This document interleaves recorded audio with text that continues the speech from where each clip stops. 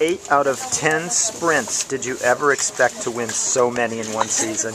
No, uh, before the season starts, I, I didn't expect uh, that I could win so much sprint competition, and yeah, it was great to win the last sprint competition for me. And yeah, it was a great race today. I had two mistakes and I was very fast at the track. I was really relaxed after the World Championships. It was a very tough time for me and a very hard time with a lot of pressure. And so it's it's great now. I have fun and I can enjoy my last races.